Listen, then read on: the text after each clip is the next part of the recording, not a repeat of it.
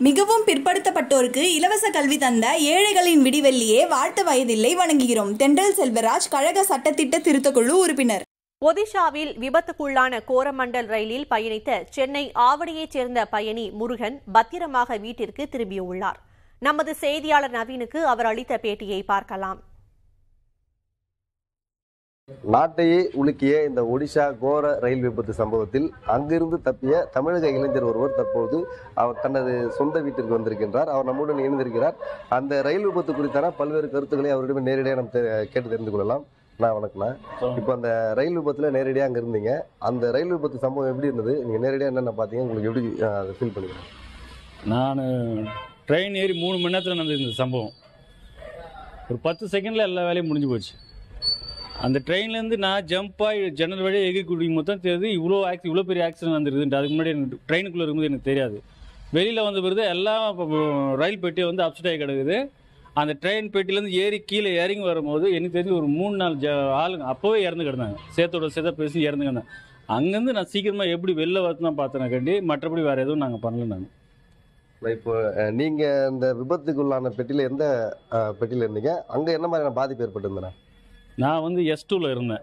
S டூவில் இருக்கும்போது எனக்கு ஆப்போசிட்டாக வந்து வண்டி அந்த பெட்டி வந்து கவர் ஆரம்பிச்சது. கவர் ஆரம்பிச்சு என் பக்கத்தில் இருந்த மக்கள் எல்லாம் லெஃப்ட் ஹேண்ட் சைடில் போய் சா சாய ஆரம்பிச்சிட்டாங்க. நான் ஜன்னலை பிடிக்கவோ நான் அவங்க பக்கம் சாயலை. சாயாமல் இருக்கும் எனக்கு ஒரு அடி கூட பல்ல. அதனால நான் கொஞ்சம் தப்பிச்சிக்கினேன் நான். ஆனால் மக்கள் எல்லாம் பயந்துட்டாங்க கத்த ஆரம்பிச்சிட்டாங்க. நான் இப்போ இந்த விபத்து எப்படி ஏற்பட்டது? அதை எப்படி நீங்க உணர்ந்தீங்க? விபத்து எப்படி ஏற்பட்டதுன்னு எனக்கு தெரியாது. எனக்கு அந்த பெட்டிக்குள்ளே இருக்கோ அந்த சத்தம் மட்டும்தான் எனக்கு கேட்டுது. அந்த ஒரு பத்து நிமிஷம் ஒரு அஞ்சு நிமிஷம். நான் நடந்தது கூட தெரியாது. ட்ரெயினை பிடிச்சினா அவன் க பிடிச்சி சத்தம் தான் போட்டாங்களா கண்டி விபத்து எப்படி ஏற்படும் தெரியல ட்ரெயினை விட்டு வெளில வந்த பிறகு தான் தெரியுது ஒரு சிலர் சொல்கிறாங்க ட்ராக் சரியாக சேஞ்ச் ஆகல. ஒரு சிலர் சொல்கிறாங்க ட்ரெயின் வந்து மோதிச்சு மொத்தம் பார்த்தா மூணு ட்ரெயின் மோதி இருக்குதுன்னு சொன்னாங்க என்கிட்ட. அவ்வளோதான் தெரியும். நான் ட்ரெயினை விட்டு வெளில மணி ஒரு ஏழு இருக்கும். அப்போயே எனக்கு இருட்ட ஆரம்பிச்சிச்சு. பொருளாக இருட்ட ஆரம்பிச்சு. அதுக்கப்புறம் என்ன நடந்தது எங்களுக்கு தெரியாது. அங்கே நாங்கள் சீக்கிரம் வெளில வர தான் பார்த்தோம். நான் இப்போ விபத்து ஏற்பட்டது. விபத்து ஏற்பட்ட அந்த மீட்பு குழு அங்கே வர எவ்வளோ நேரம் ஆச்சு? அதை பற்றி ஹாஃப் அன் ஹவரில் வந்துட்டேன் ஹாஃப் அன் ஹவரில் வந்துட்டாங்க. நாங்கள் நடக்க நடந்து நடந்து போகும்போது ஆம்புலன்ஸ் எல்லாம் வந்துச்சு. அந்த ஊர் மக்கள் எல்லாம் வந்து அந்த ரூட்டை கிளியர் பண்ணி கொடுத்தாங்க. வண்டிங்க போயிட்டு வரதுக்கோசம் கிளியர் பண்ணி கொடுத்தாங்க. அந்த சம்பவத்தை நேரில் பார்த்துருக்கீங்க அங்கே அந்த இடம் எப்படி இருந்தது? ஒரு ஒரு சின்ன கிராமம் ஒரு சின்ன கிராமம் தான். அந்த மூணு ட்ரெயின் ஆக்சிடென்ட் ஒன்று வந்து கூட்ஸ் வண்டின்னு நினைக்கிறேன். ரெண்டு வண்டி வந்து பேசஞ்சர் வண்டி. எல்லாம் அங்கே ட்ரெயின்லேருந்து தப்பிச்சவங்க எல்லாமே அப்படியே நடக்க ஆரம்பிச்சிட்டாங்க கத்த ஆரம்பிச்சிட்டாங்க. ஒரு சிலர் அழுதுன்னு போனாங்க. ஒரு சிலர் அவங்க ஃப்ரெண்ட்ஸுக்கு தூக்கின்னு போனாங்க. ஒரு சிலர் அப்படியே போட்டு படுக்க வச்சுட்டாங்க. ஒருத்தங்க இந்த ஜாயிண்ட் போல்டு வெளில நெட்டு அந்த எலும்பு வெளில வந்துச்சு அவனுக்கு. அப்படியே பத்துன்னு கிடக்குறான். அதுக்கப்புறம் அந்த ஊர் மக்கள்லாம் வந்து கொஞ்சம் சப்போர்ட் பண்ணாங்க.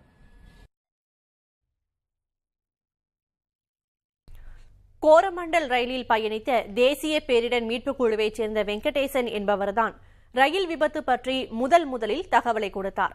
சென்னை திரும்பிய அவர் பகிர்ந்து கொண்ட தகவல்களை பார்க்கலாம். தமிழகத்தைச் சேர்ந்த தேசிய பேரிடர் மீட்பு படையில் பணியாற்றக்கூடிய வெங்கடேசன் என்பவர் பயணித்திருந்தார்.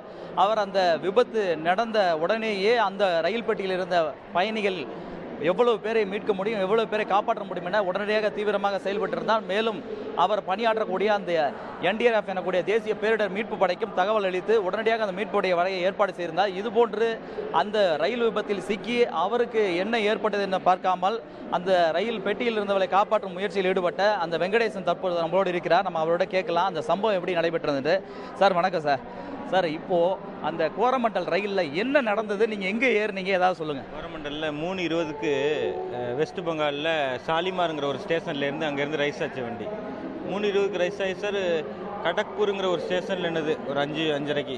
அதுக்கப்புறம் ஆறு ஆறு இருபது ஆறு இருபத்தஞ்சுக்கு பாலேஸ்வரில் நின்றுச்சு பாலேஸ்வர்லேருந்து ஒரு பீஸ் இருபது கிலோமீட்டர் என்ன ஆகி இருபது கிலோமீட்டரில் இந்த இன்சிடென்ட் நடந்துருச்சு. பெங்களூர்லேருந்து வந்த ஹவுடா எக்ஸ்பிரஸ் ஹவுடா துரந்தோன்னு. பக்கத்தில் இது போயிட்டு இருந்தது கூட்ஸ் வண்டி ஒன்று அது போச்சா நின்றுச்சான்ட்டு தெரியல. நம்ம வண்டி ஏசி உள்ளே இருந்ததுனால வெளியில் என்னான்ட்டு தெரியல. அதை அடித்து கிடந்த இந்த பொசிஷனை பார்த்தாலும் நம்மளால் ஜட்ஜ்மெண்ட் பண்ண முடியல என்னாச்சுன்ட்டு. வந்துட்டு இருக்கும்போது திடீர்னு ஒரு பயங்கர சவுண்டு ட்ரெயினில் அந்த இரும்பை கீழே தேய்ச்சா எப்படி ஒரு உராய்வு அந்த ச- அந்த பற்றியோட சவுண்டு பயங்கரமாக சவுண்டு கேட்டு பெட்டிக்கு உள்ளே நான் இருந்தது பி செவனில் மிடிலுக்கும் பின்னாடி இருந்தது. மிடிலை விட கொஞ்சம் பின்னாடி. அதனால எங்களுக்கு அந்தளவுக்கு ஒரு இது தெரியல. இருந்தாலும் உள்ளேயே எல்லாம் கீழே கீழே விழுந்துட்டோம். குழந்தெல்லாம் கீழே சீட்டுக்கு கீழே விழுந்துட்டாங்க எல்லாம். அதுக்கப்புறம் அவங்கெல்லாம் எடுத்துகிட்டு இருக்கும்போது எல்லாம் கத்த ஆரம்பிச்சிட்டாங்க. என்ன என்ன மட்டும் ஒரு அஞ்சு நிமிஷம் இது நடக்குது. முன்னாடி ஒரு ஒரு பொட்டியாக காலி ஆகிட்டே இருக்குது அடுத்து எங்கள் பொட்டிக்கு வர நேரம். ஆனால் காலி ஆகிட்டே வரும்போது கொஞ்சம் கொஞ்சமாக ஸ்லோவாகி ஸ்லோவாகி எங்கள் பி செவன் வரும்போது சுத்தமாக நின்றுச்சு. பி சிக்ஸு வரலையும் பற்றியை விட்டு கீழே இறங்கிடுச்சு. இது ட்ராக் அவுட்டு பி செவனுக்கு ஒன்றுமே ஆகலை. நல்லா நின்றுட்டுறாங்க அதுக்கப்புறம் வண்டி ஃபுல்லாக நின்னதுக்கப்புறம் நான் கேட்டை ஓப்பன் பண்ணி கொஞ்சம் வயசானவங்கெல்லாம் கொஞ்சம் இறக்கி விட்டு என்னுடைய லக்கேஜையும் எடுத்துக்கிட்டு கீழே இறங்கி பார்த்தா பயங்கரமான விபத்து. சொல்லிக்க முடியாத ஒரே சத்தம் குரல் லைட்டு ஃபுல்லாக கட் ஆகிடுச்சு இருட்டாக இருந்தது. அதுக்கப்புறம் பேக் எடுத்துகிட்டு நேராக அந்த இடம் கேட்டு மெயின் ரோடு எங்கள் ஏசி டப்பாவுக்கு நேராக மெயின் ரோடு கேட்டு போட்டிருந்தாங்க. அந்த கேட்டை ஓப்பன் பண்ணல. அது வழியாக குமிஞ்சு போய் பக்கத்தில் ஒரு டீ ஸ்டால் இருந்தது. அதோட வீட்டில் என் பே லக்கேஜை வச்சுட்டு மறுபடியும் ரிட்டர்ன் வந்தேன். வந்து உடனே இங்கே எஸ்எம்க்கு சுபேதார் மேஜர்னு சொல்லுவாங்க பட்டாலியன் அவங்களுக்கு இன்ஃபர்மேஷன் பண்ண சார் இந்த மாதிரி நான் லீவுக்கு வந்தேன். கோரமண்டலில் ஆக்சிடென்ட் ஆகிடுச்சுன்னா உடனே அவங்க எங்கள் கமாண்டன்ட்டை சொல்லி கமாண்டன்ட் உடனே ஆக்சிடென்ட் பண்ணிட்டாங்க. பக்கத்தில் ஒவ்வொரு ஸ்டேட்லேயும் ஒரு ஒரு என்டிஆர்எஃப் இருக்கும். பக்கத்தில் ஒடிசாவில் எங்கே பக்கத்தில் நாற்பது கிலோமீட்டர் என்டிஆர்எஃப் அவங்களுக்கு தகவல் சொல்லிட்டாங்க. எல்லாம் நடக்கும்போது அங்கே உள்ள சிவில் எல்லாம் ஒன்று கூட்டிட்டாங்க சிவில் ஃபுல்லாக ஹெல்ப் பண்ண ஆரம்பித்தாங்க அவங்கவுங்க வீட்டிலேருந்து பக்கெட்டில் தண்ணி கொண்டு வந்து அன்கான்சியஸாக இருக்கிறவங்களுக்குலாம் மூஞ்சில் தண்ணி அடிச்சு இது பண்ணி பக்கத்தில் ஒரு மெடிக்கல் ஷாப் இருந்தது. அவங்களும் வந்து ஃபஸ்ட் எய்டு கொடுக்க ஆரம்பித்தாங்க ஃபஸ்ட்டு ஹெல்ப் பண்ணது சிவில் அங்கே உள்ள சிவில் அதுக்கப்புறம் போலீஸ் வந்துட்டாங்க ஃபயர் சர்வீஸ் வந்துட்டாங்க. மூணாவது இங்கே என்டிஆர்எஃப் டீம் வருது. என்டிஆர்எஃப் டீம் வந்து ரெக்கவரி பண்ண ஆரம்பிச்சிட்டாங்க ஆப்ரேஷன் பண்ண ஆரம்பிச்சிட்டாங்க. சார் தற்போது நிலையில அந்த விபத்து நடந்த சம்பவத்தை நீங்க உடனடியாக அந்த பெட்டியில இருந்திருக்கிறீங்க. உங்களால் அது ஏதாவது புரிஞ்சு கொள்ள முடிஞ்சதா? என்னன்ட்டு? அந்த விபத்து நீங்க ஒரு பெட்டியில இருந்தீங்க. என்ன மாதிரி அந்த விபத்து ஏற்பட்டது? ஏதாவது நீங்க அதுக்கப்புறமா அதை பார்த்து காலையில புரிஞ்சுக்கிட்டீங்களா? உடனே கிளம்பிட்டீங்களா? நான் அங்கே ஒரு மணி வரலையும் அங்கே தான் இருந்தேன். ஒரு மணி வரலையும் அந்த ஆப்ரேஷன் கூட ஹெல்ப் பண்ணிக்கிட்டு தான் இருந்தேன். நானும் எங்கள் டீமோட இருந்தேன். கொஞ்சம் இன்ஸ்ட்ருமெண்ட்லாம் எடுத்து கொண்டு கொடுத்துட்டு இருந்தேன்.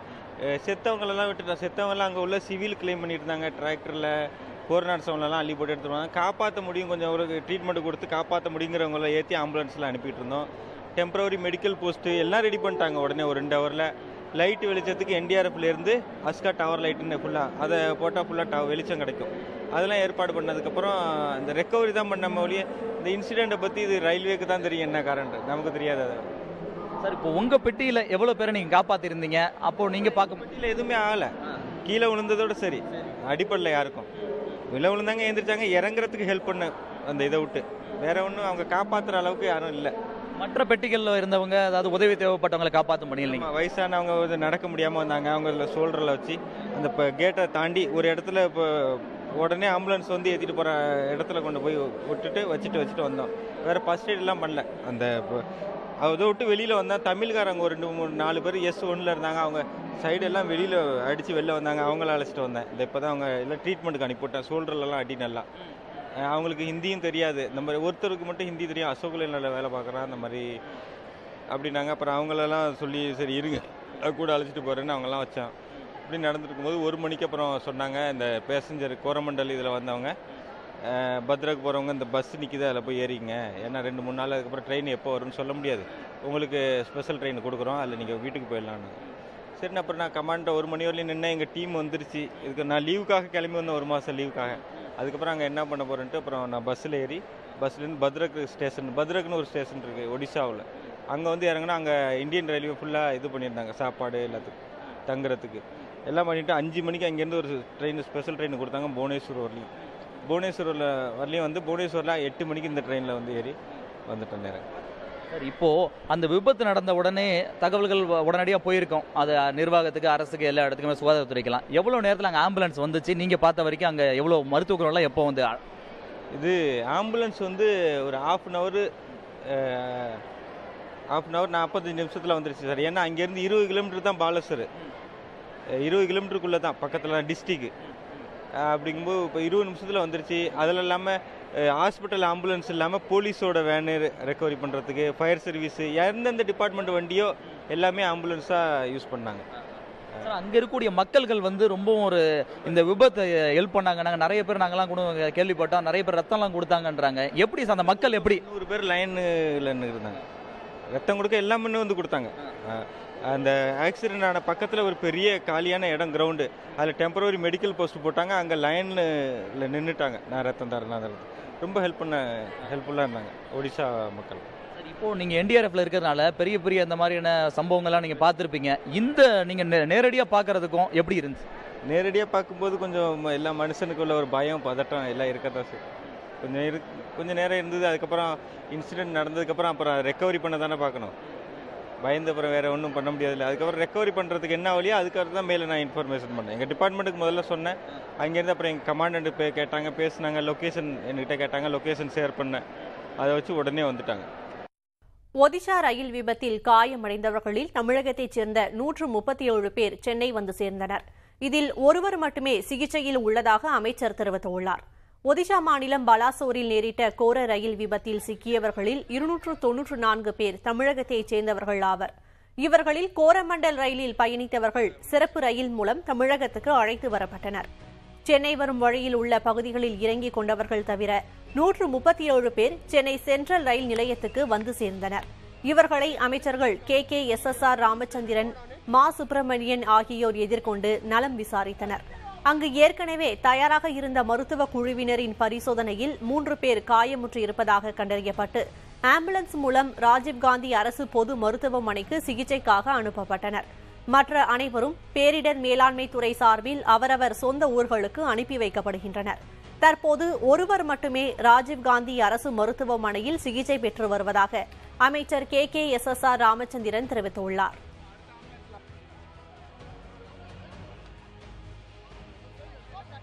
எழுபத்தி ரெண்டு பேத்துக்கு ஆபத்துங்க சார். என் கோச்சில் இருக்கிறீங்க ஒருத்தனு கூட இதாகல சார். ஆனால் என் கை மேலே விழுந்தாங்க. என் கைக்கு தான் கொஞ்சம் சிலுப்பாச்சு அப்போ கூட அந்த டைமில் கவனிக்கல. இது பிரச்சனை ஆச்சா என்னன்னு தெரியல. வலி ஓர இருந்தது. கொஞ்சம் தபாயெல்லாம் டாக்டர் நல்லா செக் பண்ணாங்க.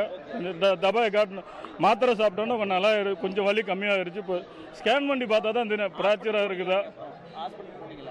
இல்லை அங்கேயே டாக்டர் வந்தாங்க. இல்லை ஒடிசால வந்தாங்க ரயில்வேல வந்தாங்க. பார்த்தாங்க பிடிச்சி பார்த்தாங்க. ஒன்றும் இல்லைப்பா. த மாத்திரை போட்டிங்கன்னா சரியாக போயிடும் வீக்கம் தான் இருக்குது. அதனால் உனக்கு எந்த பிரச்சனையும் கிடையாது.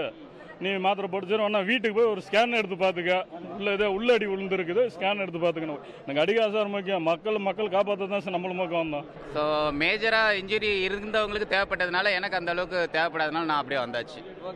ஸோ நம்ம சென்னையிலேருந்து பார்த்துக்கலாம் அப்படி சொல்லி இது வந்து ஒரு முந்நூறு பேருக்கு மேலே இருப்பாங்க. நிறையவே கை காலெல்லாம் கூட பார்த்து ஒரு மாதிரி இது பண்ண முடியல இந்த தலையில் அடிபட்டு போய் நீங்கள் எப்படி ஆனாலும்